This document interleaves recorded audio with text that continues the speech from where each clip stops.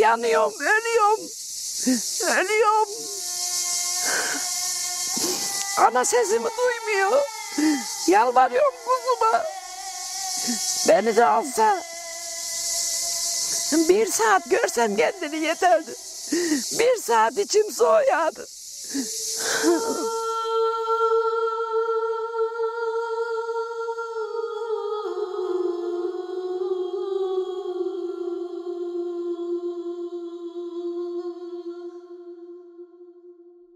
Allah'a her gün dua ediyorum. Her namaz oturduğumda beni de al.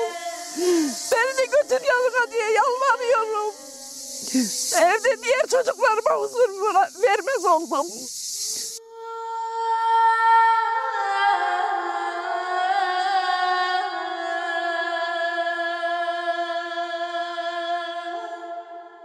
Bebek gibiydi, sevemedim, doyamadım. Doyamadım. Doyamadım. Rüyamda gördüğüm gün seviniyorum.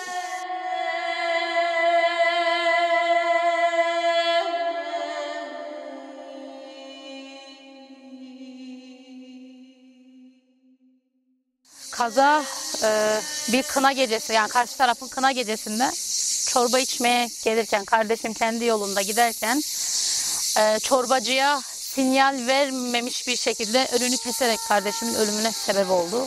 Zaten kardeşimi kaza yaptığı yerde vurduğu yerden e, bayağı bir yani uzaklaşarak düşmesine sebep oldu ve iç kanama, beyin kanaması geçirdi kardeşim. Telefonum çaldı.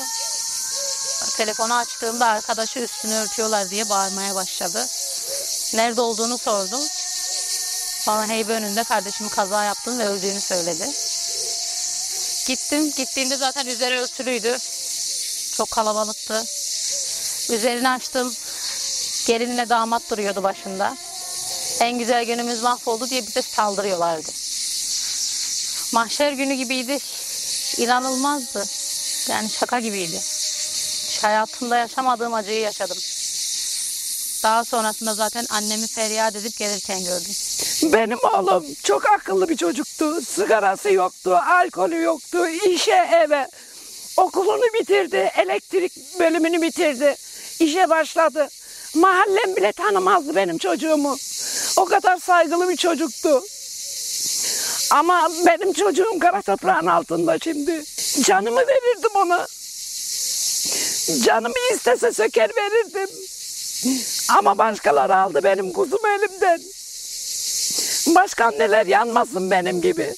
Sesleniyorum Cumhurbaşkanı'na. Devlet büyüklerime bize sahip çıkılsın. Yedi yılla kalmasın bu. Kalmasın bu adalet değil. 18 ay adam iki tane çocuk yaptı evinde keyfine baktı. Biz ailece bittik, ailece yıkıldık. Yardım istiyorum. Bize yardım etsinler.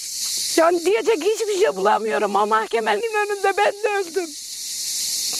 18 ay ne ya askere gitti.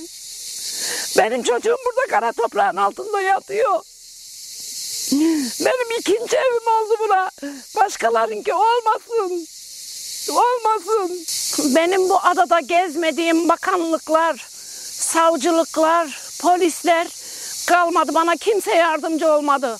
Kimse dikkate almadı. Almadı. Yasa bu deyip geçiliyor.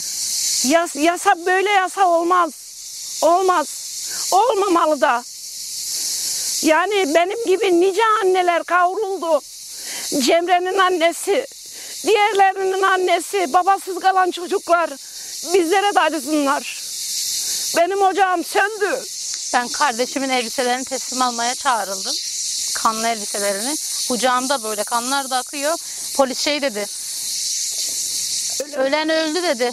Kalana sahip çıkalım biz dedi. Aynen bu şekilde bizi Her gönderdiler. polisimize gittiğimde bana aynı kelimeyi kullandı.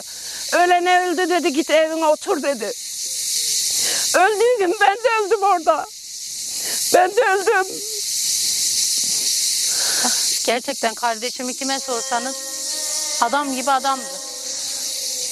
Bura değildi onun yeri. Kardeşim gideli üçüncü seneye girdik. Biz üç senedir her gün buradayız. O son gidişi, o son kahkahası hep şey diyordu. Abla işte hiç kimseye borcum yok. Artık evleneceğim, bir yuva kuracağım. Kimseye bir zararı da yoktu. Ama gitti bir saat sonra elimizden aldılar. Belki bu yasa bizi kapsamayacak ama başka anneler ağlamasın. Kimse kardeşsiz kalmasın. Aileler yuvalar dağılmasın. Yetkililere sesleniyoruz. Biz suçlunun cezasını çekmesini istiyoruz. Benim kardeşim 22 yaşındaydı, gencecikti. Yani cezasını çeksin. Biz başka bir şey istemiyoruz. Yani bize bu zaman zarfında bir özür dileme, bir başını sağ olsun biz bunları duymadık. Bu dalga geçer gibi öldü bitti. O düğününü yaptı, çocuğunu yaptı. O hayatına devam etti. Yani bu değil biz adalet istiyoruz. Bize sahip çıkılsın istiyoruz. Benim kardeşim burada toprağın altında yatarken onu gezmesini istemiyorum ben. Adalet istiyoruz. Bizim isteğimiz bu. Bu adalet adalet değil. Benim gibi nice anneler yanıyor. Yanmasınlar. Bize sahip çıkılsın onu istiyorum. Benim ocağım söndü. Benim ateşimi söndürsün devletime sesleniyorum.